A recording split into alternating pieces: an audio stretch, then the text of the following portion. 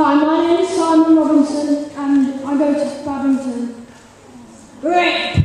Blood on the floor, body ripped in half. It was too late.